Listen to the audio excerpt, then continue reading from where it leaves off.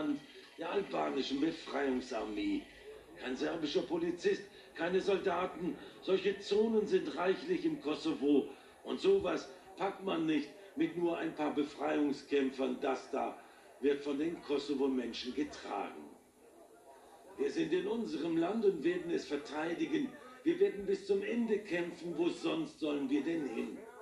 Diese Kämpfer da kriegen im Kosovo politisches Format. Adem Demaci, 62, Kommunistdissident, 20 Jahre Tito-Gefängnis. Ich habe der Befreiungsarmee angeboten, sie politisch öffentlich zu vertreten. Das Ziel ist nicht die Autonomie, sondern eine Konföderation mit Jugoslawien. Europa muss wissen, dass alles andere eine Illusion ist. Die Befreiungsarmee ist entschlossen, dafür zu kämpfen und zu töten. Demaci ist ein kalter Rechner, jahrelanger Terror oder ein unabhängiges Kosovo. Und in Belgrad begrüße ich Friedhelm Brebeck. Letzte Woche hatten wir ein paar Schwierigkeiten, aber ich glaube, jetzt sind wir dicht beieinander. Friedhelm Brebeck, äh, das war ja ein ungewöhnlich aufschlussreicher Film, den Sie uns da eingespielt haben. Da meldet sich also jemand zu Wort, von dem wir hier noch nichts gehört haben bisher. Was oder wen hat er hinter sich? Der Mann ist seriös, er hat eine seriöse politische Vergangenheit, auch wenn er Kommunist war und die Jugend läuft ihm nach. Er gilt als militant und er hat ganz offensichtlich direkte Verbindungen zur Befreiungsarmee. Was kann man denn von ihm erwarten, dass äh, Frieden möglicherweise einkehren wird oder dass die Lage sich noch verschärft?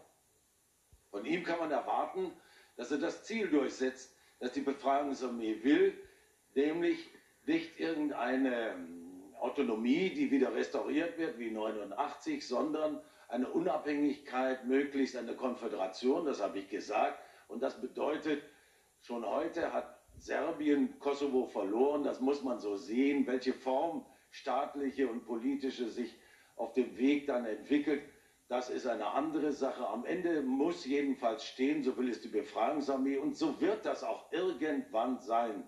In ein, fünf oder sechs Jahren, irgendwann steht da ein Kosovo-Staat. Und mit dem muss man umgehen und das muss auch Europa, das muss Amerika lernen mit der Politik. Wenn Sie jetzt sagen, das wird irgendwann sein, steht da zwischen jetzt und dem irgendwann noch ein Krieg?